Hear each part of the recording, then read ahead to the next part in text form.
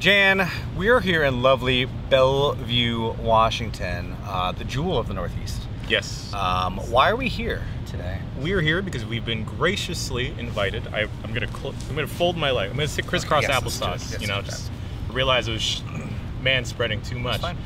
Uh, graciously invited by Valve to Mhm. check out the Steam Deck. They call it the deck. They just call it deck. They were just calling it Deck. I'm sure the word Steam gets said Yeah. way too often at the office. Um, Yeah, it was a really nice visit. We flew up for the day. We've been here for a couple hours. We just got, got a couple hours of the, the test device, brand new. They said it got here like yesterday. yes. Um, a little, a few little hiccups here and there, but overall, I am super impressed. yes. Yes. I think for the price, and I was telling it to the people in, at, at Valve, like I, I, you, people know about my monitor and my, my, I play a lot of games on my PC. I, have I spent a lot of money on it. For the price that they're selling this thing at and the functionality it has, uh, I think it's, it's not a miracle. I mean, it ta- games take a little time to load. It is a Yeah. PC in that sense, but uh, everything that I tried to do for the limitations of having it all in one big, um, one little thing that you're holding, I, I am just super impressed. It's, it's hesitate to say like game changer. It is still you're playing PC games, but Yeah. the functionality of it, everything that you can play, um, hook up a mouse and keyboard if you want to. You can video out to a monitor. It's a neat little device. Yeah. Um, we should mention the unit we were playing around with today is not final. Mm-hmm. It's still being iterated on. Yep. Uh, but for what it's worth, dude, it was it was pretty sweet. And I know you, you hazard to say game changer, but Yeah. I, I will say game changer because Yeah. I mean I play I play Switch an obscene amount. Yeah. Yeah, I think it's like I out of all the consoles and PCs, I think I spend the most time on my Switch because I can play it in that. Yeah. Right.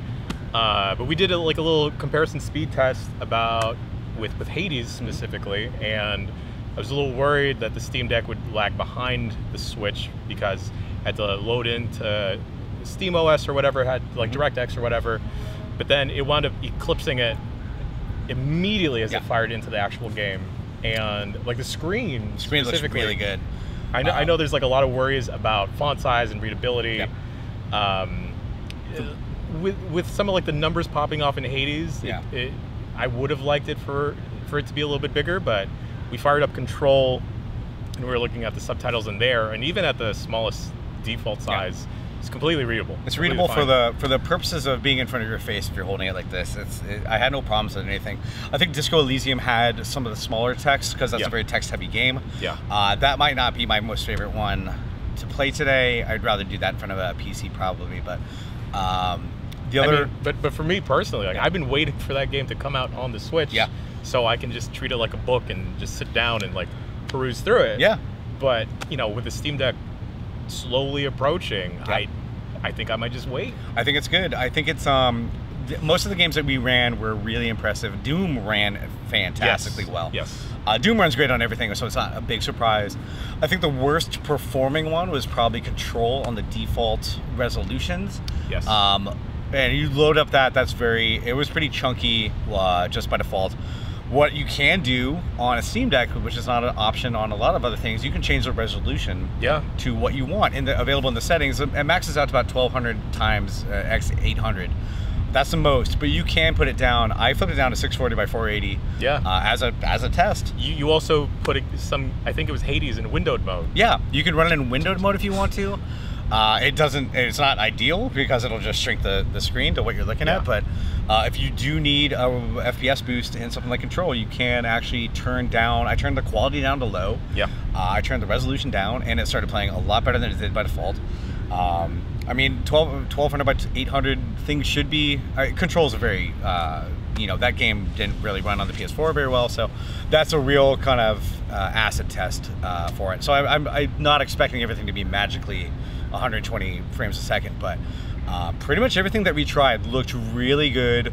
The screen was beautiful. Um, yeah. We we checked out both models. we did. The one uh, with Etched the anti glass, the etched yeah. glass with the anti glare. Uh, we did a very Yeah. not the best test where Yeah. we shined like a phone light on it, but for the most part, uh, I think if you're playing maybe in, in, in a park like we're at, Yeah. uh, you'd be fine. Yeah. The only thing is, battery life is probably going to be. Uh, the, I think we were on there for about an hour and a half straight. Yeah. It got to about I want to say like 30% battery was left at that time. So you're gonna be want to be near a charger, but for a plane or something where you have uh, USB-C available to you, which is probably pretty not right here unless I missed something. Oh, there's a plug right there. Oh, that's good. that blade of grass. Yeah, that's great. Um, so battery life does drain pretty quick. Yeah. Uh, but that's you know the price of having a high performance machine. And Yeah. It's pretty high performance. I mean, for- speaking for uh, of high performance, there's there's not supposed to be any differences between playing with it powered, uh, like hardwired, plugged in, Yeah. versus like just running off the battery. That's what they say. Uh, there's no like. I didn't get to the point of asking about a power saver mode when it's on low batteries. You probably just want to charge it at that point. Yeah. It's probably not going to be a great experience when it's really running low. But um, yeah, I was just like, I was, I was pretty, really impressed. I mean, there were some caveats on the hardware and the software. It did uh, some loading problems with Doom and things like that. Um, but it's it's still a work in progress, and I think they'll they'll probably they have a lot of time before shipping. So Yeah. um, It, the unit feels a lot lighter also than I, I was led to believe. it does feel comfortable though. yeah, yeah. Um, The button layout, like I, I thought I'd feel cramped at first, Yeah. but then I quickly got used to it. Mhm. Uh, there weren't that many opportunities to test out like the touchpads Yeah. with, with stuff today, at least. It was interesting. We couldn't uh, install just random stuff. I didn't really ask. I should have uh, tried to install some random stuff from Steam, but um, the trackpad stuff I'm not as sold on. I know that the Steam controller was big trackpad. I, I've never. We played a little Doom, um, and I haven't played Doom on a controller before, so I still get kind of getting used to it, which explains why I died so much. If you want to. I'm explaining away why I was doing so poorly, but I did have a few power shots and some kills and some chainsaws and stuff. Um, hi, puppy. Um, yeah, it was uh, the trackpad stuff. They also have motion controls, which is really Yes. interesting. Like you can aim like the old uh, Breath of the Wild kind of. I like, the- like on a Switch. like on a Switch, you can do Yeah. that. I've never found that to be super uh, compelling way to play games, but Yeah. um, There's yeah, a, there's an interesting subset of people that Yeah. swear, Swear by- like there's pro Splatoon 2 people Yeah. that swear on the gyros. what was that launch game for PS3 that had the glaive that you would throw out and control with the, the motion Uh, controller? I don't that kind of stuff always drives me crazy. But it, as a controller-based thing, ignoring the trackpads, I think it felt really good. Yeah. Um, you can turn off the trackpads input uh, in the settings. You can turn off the um, paddles in the the, back. paddles. There are so there are paddles in the back if you want to use those. I turn I actually removed them from my Xbox Elite controller because I can never get used to hitting them. You can disable those if you want to, so there's no like missed inputs. Mhm. Um, but yeah, I can't think of a, a bad thing that I had to. I, there are a few quibbles here and there, but Right. um, it's just a really things look great. It's uh, the frame rate was only a problem on control. Everything else is running super super nice, and even control we could uh, adjust for. Yeah. The fact that you can adjust settings in the game and resolution and things like that to a degree, you can't go crazy with it, but Turn on um, VSync on and off. turn on VSync on and off and everything like that. It, it does has a lot. It's all the customizability of of a, of a PC, and they were very very much. They were confident. They're not like talking themselves up, but they're confident. Like they're this is a PC. You Yeah. can do what you want to on it. It is- I mean, speaking about it being a PC, like we, one of the last things we checked out today is like it being hooked up to a monitor and pretty much functioning as like you're browsing Netflix, Yep. you are uh, playing a, something in VLC, you're coding something, and you're making something in Blender, and Yep. like the whole time it was running, it's it's it a was running fine. Yeah, it's a Linux desktop, which I'm not super familiar with, but it's a pretty Windows UI kind of shell to it. I, I guess Proton, or I'm not sure what the Linux branch is that they Yeah. use, but um, things just run. Yeah. And you have all the. I was asking them really in. I asked them one time, like, can you do like command line arguments on here, like as a joke kind of thing? Yeah, you totally can. Don't worry about it. It's all yeah. in Steam. They're very clear. Like, we didn't want to make this a, a Steam branch. This is not a different kind of Steam. This is just Steam. Uh, you can do anything you can do on Steam. Uh, the overlay works. Um, sideload stuff if you want to. It's it's just a, a little yeah, tiny. and, and that was something they didn't shy. yeah, they're just happy. weren't to shy about it at all. You I brought up about Discord, You and asked like them about Discord, like installing Magic. yeah, it's- yeah, we, we're, we're Yeah, go working on ahead, yeah, yeah, yeah. I don't care. Yeah, yeah, which, which Um, is wild. just for the price point too, that thing with a mouse and keyboard, Bluetooth hooked up, that's a nice little PC just for like taking on the road if you want, don't want to bring a laptop along. Yeah. Um, Honestly, like that's why I say it, it could be a game changer because it, it introduces people Yeah. to not only like the Steam ecosystem, but like a PC light. yeah. Well, not even PC light experience. It's No. like comparable to like a, a like a high high end gaming laptop. Yeah, it's um, and I'm really impressed by the price point too. Even for the cheapest one, 64 gigs. Yeah. Putting a micro SD in there, we, we fiddled around with that too. I was I was kind of joking around. what happens when I pop out the micro SD in the middle of a game? Like, oh, you should try it and see what happens. Oh, just it just boots you back to Steam. I was I was not trying to break the thing. Yeah. But I was I was not trying to needle them either about dumb questions, but they had all the answers on tap. They are thinking about everything that I could think of as a PC gamer. Yeah. Like how would I? How, what would happen if I did this and, th- and this and this? They had everything thought out. And for what it's worth, like someone that like hasn't spent too much time in like a Steam PC ecosystem, like I've pretty much only messed around with consoles. Like it's it's also dummy friendly. Yeah. You know, like I mean, it, it- kicks you out to a s- similar Yeah. screen that's like You're feels not- very yeah. similar to like a Switch layout or like You're not getting B-sods. You're not getting No. uh, any kind of. I didn't see a single bad crash or anything like that. no. Some things hung on a black screen, but it's you know early days yet, and I'm sure they'll figure it all out. yeah. Um, yeah, we it's they are definitely talking with. It seems like they're definitely talking with developers for future games to be. I mean, it doesn't need to be optimized for the Steam Deck, but it sounds like they are talking with people about making sure that they take that into account when they make games or, or do updates to the games, um, which is really important. Oh, Yeah. hi, puppy. Um, oh, he's a little cloud. Look at him. He's a Oh, Oh, look at oh, come over here, buddy. I got to tell you about Steam Deck. Um, so yeah, I was I was just super impressed. I was Yeah. I, I was uh, expecting to be impressed because I everything that I've seen so far from them about the Steam Deck has been kind of up my alley. Uh, Right. Like I was telling, I have a very nice PC at home, but I am You do, definitely I've heard. I am definitely thinking about getting uh, one of these for for traveling and things like that. Um, Oh, again, there's battery another life. dog over there. Oh, is he coming by? Oh, he's a tiny guy. He's got oh, a little cloud.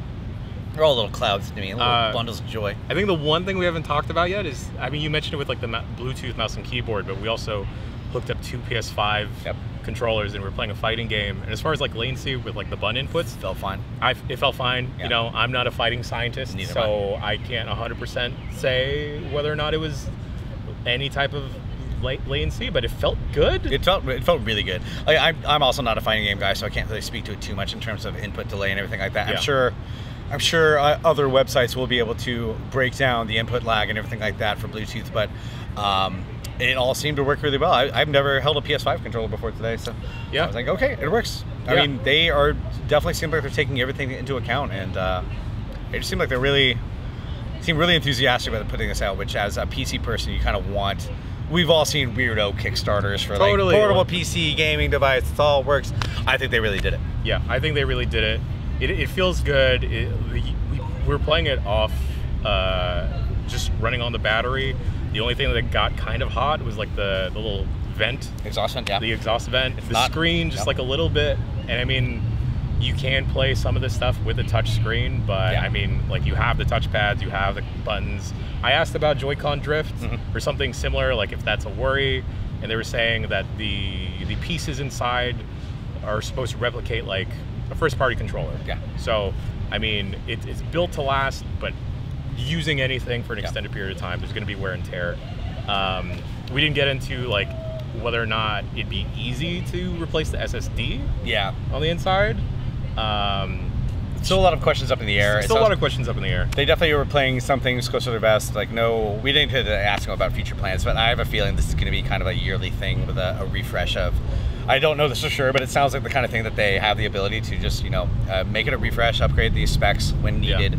But that thing at running at 1280 by 1200 by 800, it should play most games for a while on the hardware that it has. Yeah. Um, even the cheap version, I think, is going to be a good deal for a lot of people. Yeah.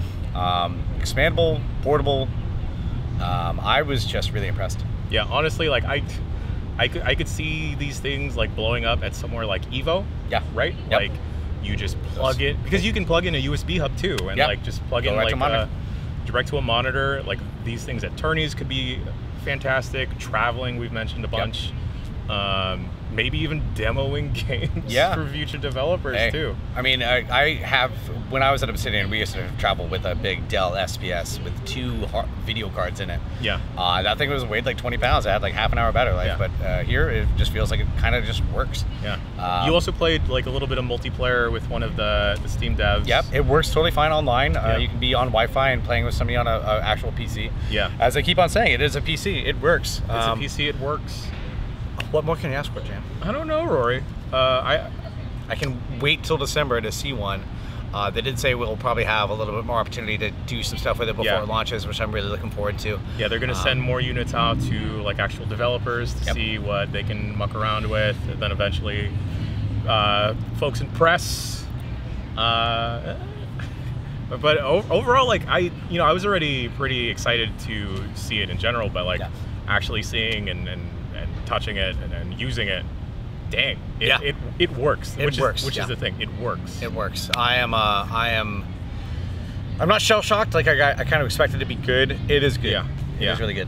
I mean, like, and then I'm just thinking about the Steam ecosystem where games constantly go on sale. Yep. Or you can throw, and, and like, you know, they're definitely not shy about you can install whatever. Yeah. So like, it could be your weird anti itch.io machine. I didn't hear them say that explicitly. We didn't ask that question, but Yeah. I have a feeling we should go back. Yeah, let's And just let's just go call call Yeah. the people and say, hey, hentai, yeah. they can Uh, do it. That's on the box. hentai, They can do it. uh, and we would compare it, it. It's a little bit bigger than a Switch.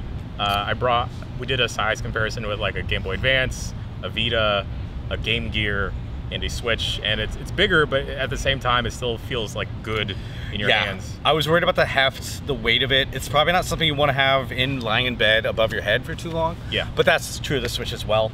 Um, it's just a nice, tight little device. It was Yeah. really, really just kind of. It all felt really good. Yeah. Uh, the mouth feel. I did not get to taste it. Mm. That was the one thing I. I No cartridges No cartridges. taste. There's a micro SD slot, but Yeah. um, You I know how those I, taste. Yeah, I already Yeah. know they taste good. Uh, so. I think like the oh, last thing is like there's a USB-C port Yep. on the top, and then a headphone jack. Yeah, Uh, and then on the bottom, it's just the SD card slot. I did not get the pairing to work with my Bluetooth headphones. I'm sure that's just a bug. Yeah. uh, it just wouldn't quite sync, but everything else will sync there anyway. So I'm sure it's just uh, something where they have to. Yeah, get there's a million. Bluetooth devices it's- going. Oh yeah, there. it's like being at you know where was I at the other day? Where I had like I was on like in, in the airport. Like how do there's a million Bluetooth devices here, but they're all they're working okay. So I'm sure that will uh, I feel confident that they will it will be a pretty successful launch, and I have a Yeah. feeling any bugs that we saw here today will probably be. I mean, like anything portable that you do or any kind of new thing, you run down the top 100 games and make sure they all work. So that kind of stuff, I, I'm feeling that they'll iron it all out. But even now, if I took that thing home, I have a feeling it would run really well for the things I want to do with it. Yeah. Um, it's not going to replace a top-end gaming PC if you got one at home, but uh, for Of people course. who don't have one or like are looking for something to play top-shelf PC games, uh, like I said, it, it control and things like that that are uh, Control is kind of a game that does require a lot of high top. top what's a weird word for it? I don't know, buffer at the top. It's it's a high sh- high ceiling game in terms of you need a lot of power there. But like I said, Doom looked as good as it ran better. Doom ran better on that first. Uh, I played the Doom Ancient Gods first level, the big one Yeah. with the uh, outside. Um, you're outside of the uh, oil rig.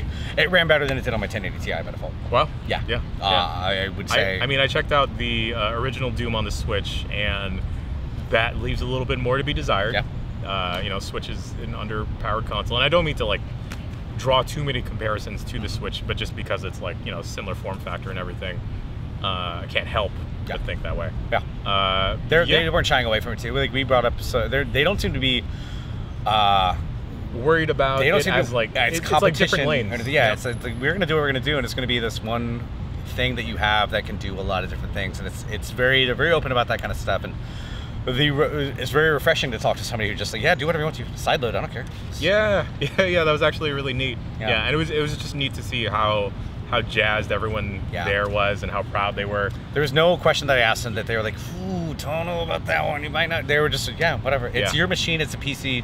It'll do what you want. Yeah. Uh, which is, hey, it's gonna be a great Christmas present um, for me, If, if, from me to me. to you. Yeah, yeah. Well, you know, we'll get an office one. Yeah, maybe like like like the Office Switch is my Switch. So let's make that happen. Well- uh, that's uh, our impressions of Steam Deck. More to come later on. Yeah. Uh, I took a bunch of pictures. We'll we'll post those up. Yep. Uh, depending on when this goes up, we might have regurgitated all of this on UPF. Or the Bombcast, but Yeah. Um, it's just, uh, it's a really impressive device. It's not going to change the world. It is a PC. Yeah. Um, but it is a very powerful little thing that I think is going to make a lot of people very happy. And it's corgi. Corgi. Oh, We're gonna well, Rorie, let's get out of here and let's Let's go meet this corgi. I'm going to go meet that corgi. Yeah. All right. Thanks, everybody. Bye, That's our. Steam Deck impressions. We'll talk to you later. Bye.